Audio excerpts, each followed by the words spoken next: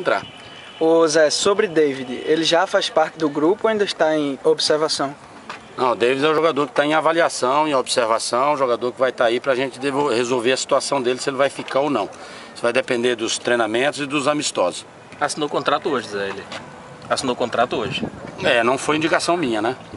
Se assinou o contrato, a situação dele aí, nós temos que encontrar solução, né? Então o jogador vai, vai, se vai ficar aí no grupo, aí já é uma responsabilidade de quem, quem autorizou.